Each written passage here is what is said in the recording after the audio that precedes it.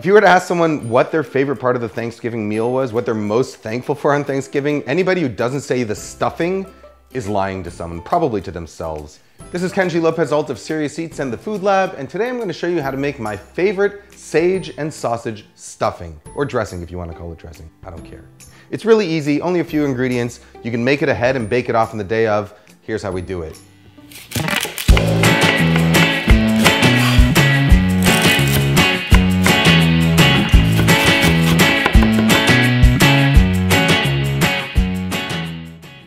Start by preheating your oven to 275 degrees Fahrenheit.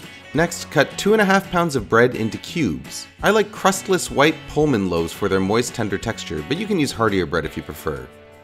For soft bread, I find a sharp chef's knife cuts better than a bread knife. Transfer the bread to two rimmed baking sheets, then place them in the oven to toast for about 45 minutes, rotating the pans halfway through cooking. Our goal here is to dry the bread out, which also allows it to absorb more flavor down the line. Stale or not, it really makes no difference at all. Now to start making our flavor base. Begin by melting a stick of butter in a large Dutch oven over medium-high heat, swirling it until the foaming starts to subside. Now add a pound and a half of sage sausage or breakfast sausage. To break it up, I like to use a potato masher. You've probably already got it out for your mashed potatoes, and it makes short work of crumbling ground meat. It's much easier than using a spoon.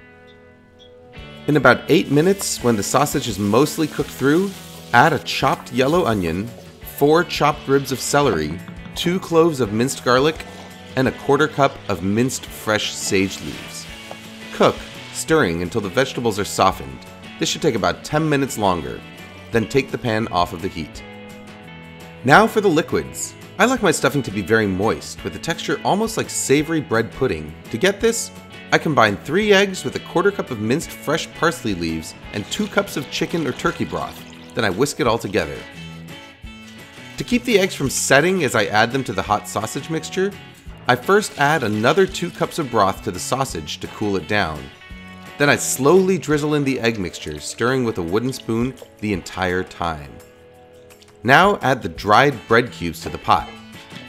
At first it's going to seem like way too much bread, but as you gently fold the mixture together, the bread should absorb every last drop. That's it. Keep folding. Keep folding.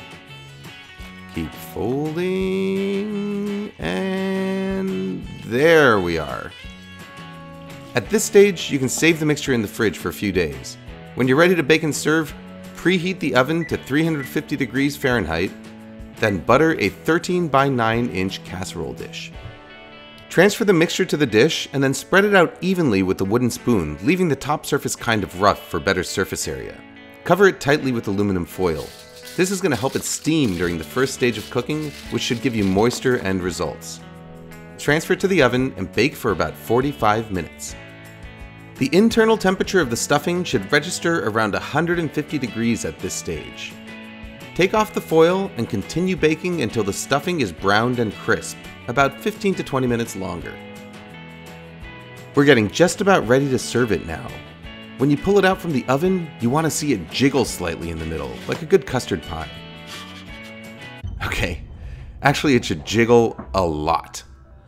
And that's the real key to this stuffing the moist, custard like center packed with buttery, savory flavor, contrasting with the crisply brown crust all around. Let it cool slightly, sprinkle it with some more parsley, and then it's just missing one last thing. What was that again? Oh, right, the gravy. Never forget the gravy.